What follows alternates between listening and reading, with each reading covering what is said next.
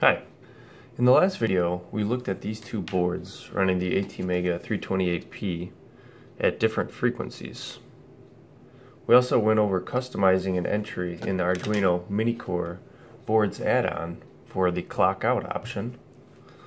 And this video is an update to that one. Initially the goal was to calibrate the internal 1 megahertz oscillator However, because of performance reasons with the code I was running, I ended up increasing the clock well above the 1 megahertz default in order to achieve the timing that was required uh, for accurate NEC infrared code periods. But because the defined value the CPU was running was different from the actual value, the carrier frequency was off, leading to questionable functionality. However, it did still appear to work, but that probably vary on your uh, to device to device. So today I wanted to demonstrate how to set the FCPU value to the actual internal oscillator's value in order to achieve uh, correct clock timing and um, we'll see if that fixes the carrier frequency problem that I had. So first we'll have a look at the clock out pin which is Arduino pin uh, D3 or physical pin 14 so we can have a look at the internal oscillator. Okay, so here we have the test jig, the chip. We're going to be running the 1 megahertz uh, internal oscillator on this and the code, and we're just going to up upload the regular um, 1 megahertz code and take a look at the oscillator. No overclocking or calibration done. Okay, so here we have the code we're going to be running at 1 megahertz. Nothing special. We're going to use the uh, the uh, clock out option we uh, made last video. It's going to be just set to the 1 megahertz internal. Um, we're not going to worry about brownout detection. Set the bootloader to no bootloader. Okay, so we're going to upload this to the board using the programmer. And then we're going to take a look at the clock out pin and see what we have.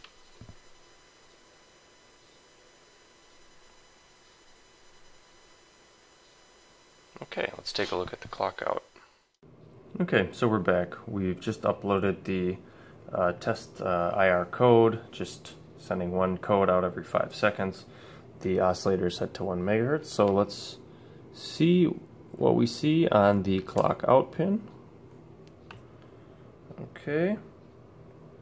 And look at that. We are running at about 1 megahertz on the clock out pin right here. Okay, so now I'm just going to set the, uh, I'm going to put the oscilloscope to the uh, IR pin so we can have a look at that. Okay, here we have the IR codes. Let's capture. Okay, let's adjust that. Okay, so here we have the IR code captured, running at 1 megahertz. Um, let's just check to see what kind of time periods we have here. So we're running about 79 milliseconds, quite a bit longer than the 67 milliseconds we're looking for. Let's take a look at the carrier frequency here. Okay.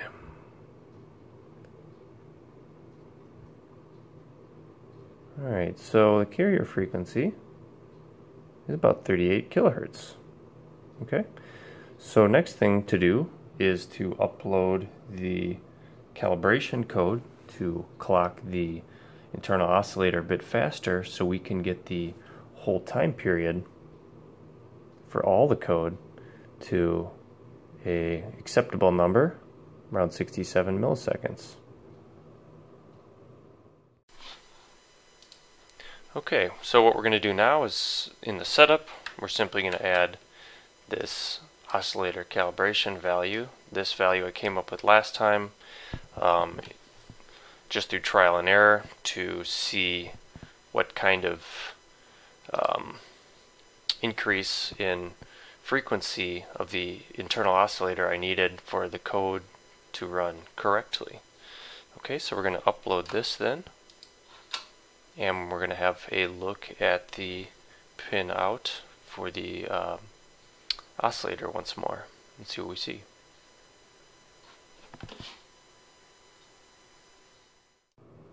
Alright, here's a look at the scope after we've uploaded the uh, latest bit of code to increase the uh, oscillator's frequency. And as you can see, we're running now at 1.2 megahertz, higher than um, before, but the voltage is higher, so that's what we'd expect. And let's have a look at the oscillations. Okay. And now let's switch the pin to the um, IR codes and see how that's changed. Alright, let's single shot capture. Here we have the codes. And just from the last setting, the time period has not changed. So we can already see that the uh, all the code is running a bit faster. Let's adjust this. And we're at about 66 for probably around 67. Okay, maybe a bit fast, but that's within the realm of working. okay, and then now let's have a look at the carrier frequency.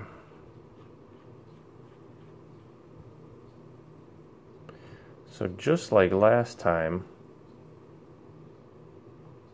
carrier frequency is fast, a bit too, bit too fast.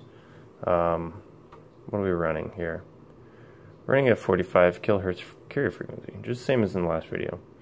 So, what we need to do is we need to let the library we're using know that we're running faster than 1 megahertz because it thinks we're running at 1 megahertz. So, we're going to make note of the uh, 1.2 megahertz value we uh, looked at before and we're going to alter that and look at the results. Okay, so here we are at the folder with the uh, Minicore boards text file in it, uh, which we went over last video. But uh, just as a refresher, um, it's going to be in the C drive users, your username, app data, local, Arduino 15, packages, Minicore, hardware, AVR, then the version, which this one is 2.0.2. So we're going to open the boards file here. And this is the boards file. And we're going to go down to the very bottom where we added our entries. This is the entry we added last time um, with the uh, FCPU as defined as 1 million. Um, and then this is uh, simply, I copied this entry, added this down here, um, changed this right here from 1 megahertz to 1100 kilohertz and changed this to 1.2 uh, megahertz this frequency was different when I was messing with it last time. Now we're operating a higher voltage. I'm going to use 1.2 megahertz instead. And then simply this is the option, the important option that you have to change. Instead of 1 million, we're going to do 1.2 million, 1 million 200,000. Um, okay, so we're going to go back to our, well, we're going to, for, first of all, we're going to save this, file save, going to go back to Tools, Boards, Board Manager. I'm going to refresh this all. I'm going to close that. We're going to go, now we have a uh, 1.2 megahertz internal oscillator. I'm going to set that. Everything else we can leave the same. So now we need to burn the fuses. I'm going to burn bootloader and then we're going to then again upload the sketch and we're going to take a look at the clock out and also the IR codes that we're sending.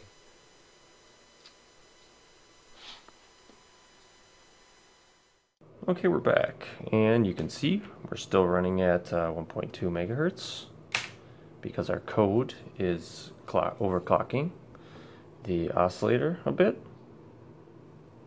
Okay, so now let's look at um, our IR codes. There, let's single shot capture.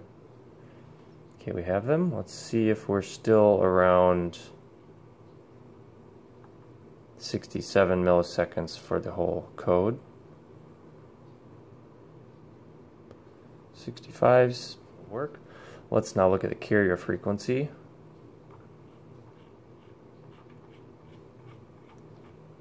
Okay, zoom in a bit more.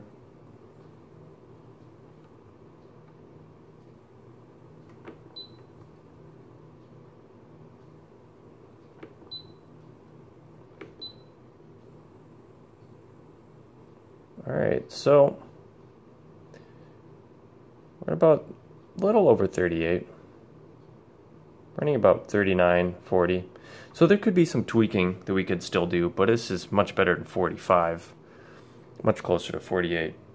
So the uh, value will vary with voltage. We could try to give more exact um, oscillator values than simply 1.2 but um, we have modified it to actually be much closer to spec. Okay, so we've seen how to calibrate the internal oscillator. We've seen how to overclock it even, and then set the uh, FCPU value to reflect the actual clock in order to get accurate timings, or at least more accurate timings. So would you want to do this? Well, probably not, only for specific applications that you yourself would be using.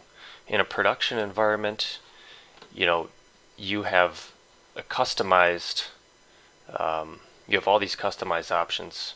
If anyone else was going to work on this, they would need all that, so you probably wouldn't want to do that. Um, I'll just go over something that actually also did not work, which I tried. I tried adding um, this bit of code here, uh, if FCPU is defined, undefine it, and redefine it. This did not work for some reason. I don't know if you, if anybody else knows other ways out there. But I think that's all for today. Thank you for watching.